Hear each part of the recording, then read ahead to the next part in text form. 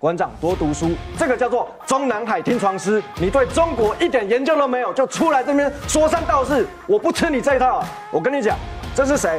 美国对中协会啊，这个美国国会对中政策幕僚长，我跟他开过会，吃过饭。我中南海听床师啊，再给你看，我去美国国会的啦，你去过没？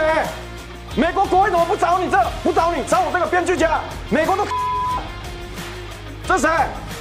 美国国家安全智库啦，找我干嘛？当大老爸？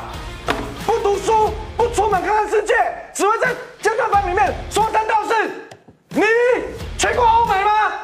你实际踏入欧美、日本去了解他们的政治状况吗？整天只会说台湾怎样怎样怎样，躲在你健身房评论天价，气死人了！我最后悔的就是上你的直播。这么久了，习近平他老婆怎样上？你多看书，多跟欧美的海外反共人士接触，你就知道。